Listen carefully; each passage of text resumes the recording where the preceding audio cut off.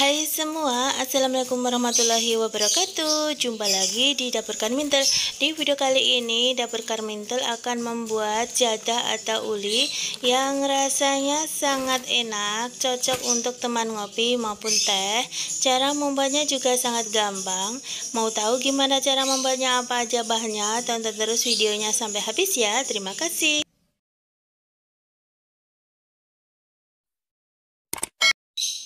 Langsung saja ke cara membuatnya. Di sini saya sudah rendam 3 liter ketan putih. Ini saya rendam selama kurang lebih 3 jam ya. Kemudian ketan ini akan saya kukus dulu. Cara mengukusnya saya menggunakan alat seperti ini. Kalian bisa mengukusnya menggunakan panci biasa. Nah, setelah ketannya ini dikukus kurang lebih sekitar 30 menit, ini udah kekel seperti ini ini belum matang ya tapi udah kekel atau udah menggumpal kemudian dalam wadah saya masukkan dua butir kelapa yang sudah diparut.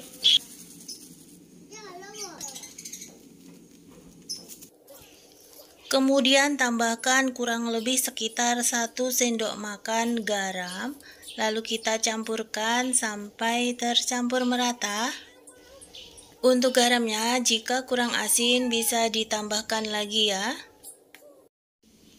Setelah ketannya dikukus selama kurang lebih sekitar 30 menit, ini sudah kekel atau sudah menggumpal seperti ini. Lalu angkat. Kemudian akan saya masukkan ke dalam wadah yang berisi parutan kelapa tadi. Kemudian kita campurkan sampai merata. Jadi untuk ketan dan kelapanya parut ini harus benar-benar tercampur merata. Saya gunakan centong kayu supaya mempermudah mengaduknya. Nah, sebenarnya sangat mudah dan gampang banget cara membuat jadah atau uli. Ini juga sangat cocok untuk ide jualan kalian di rumah. Uli ini bisa dibakar atau digoreng atau bisa dimakan begitu saja ya. Apalagi di musim cuaca hujan seperti ini, ini enaknya ulinya buat teman ngopi maupun teman ngeteh. Nah, setelah itu kita siramkan air panas. Ini saya menggunakan air panas untuk menyiramkan ya, kira-kira kurang lebih sekitar satu gelas. Kita siramkan kembali air panasnya kita aduk sampai tercampur merata.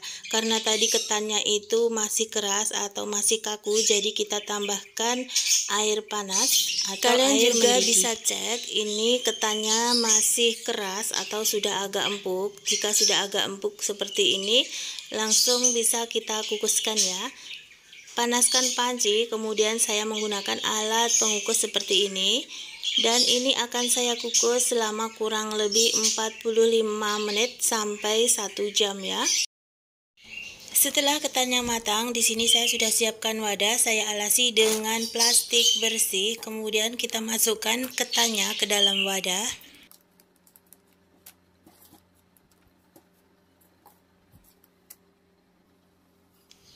Lalu di sini saya juga sudah siapkan alat penumbuk ketan.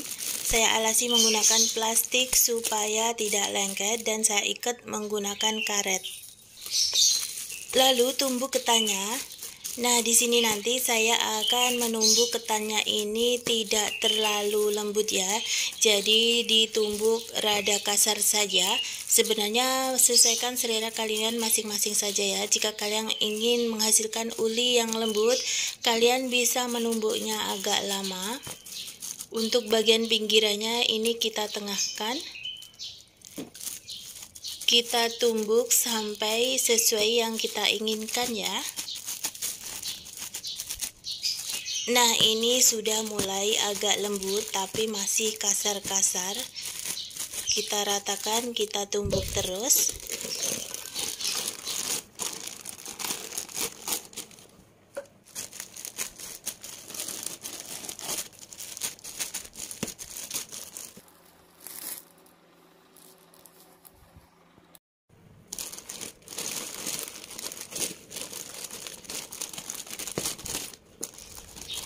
Setelah selesai ditumbuk, saya tengahkan bagian pinggirannya dan diratakan ya. Untuk menengahkan ketannya supaya merata, saya menggunakan bantuan sendok nasi atau centong.